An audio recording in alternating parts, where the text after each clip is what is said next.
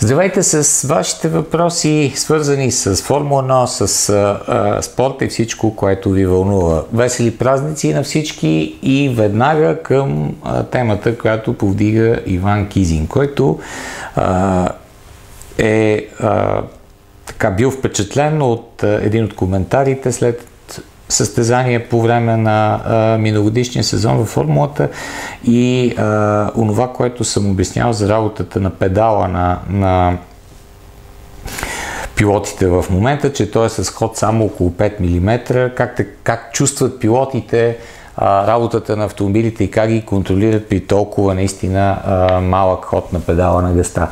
Истината е наистина, че а, Педала на гъста в модерните болиди от Формула 1 е с изключително малък ход. 5 мм на времето имаше ход на педала на гъста Вилньов и постепенно голяма част от Жак Вилньов имам предвид, голяма част от пилотите използват подобен начин на каране.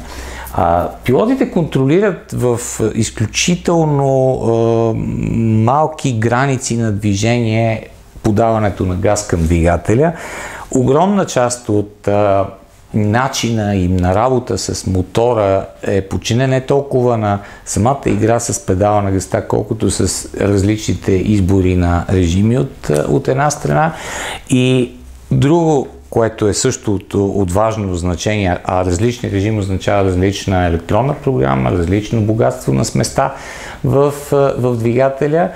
И а, по принцип начина на каране на, на, на болидите е такъв, че в много малка степен от а, ситуациите пилота не натиска а, педала на гъста до край. Наистина хода на, на педала на гъста е много малък. Хората са, са очудени вероятно при а, пилоти с а, малко по-различен, не така агресивен стил на каране, какъвто е примерно случай с, с Ким и с Алонсо, има и, и известна възможност за допълнително а, така, регулиране на гъста, но по, по принцип не се прави.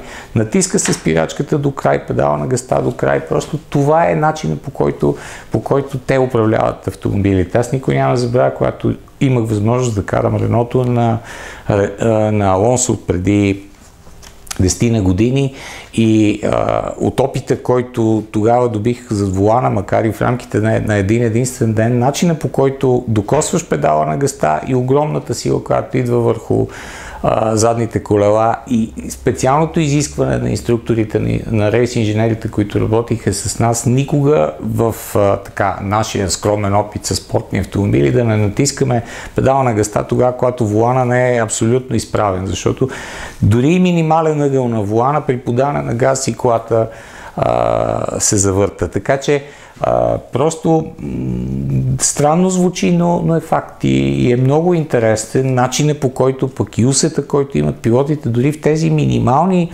граници на движение, да успяват да, да, да, да, да регулират малко работата на, на автомобилите си. Благодаря за вниманието. Ще бъдем отново заедно с следващи ваши въпроси.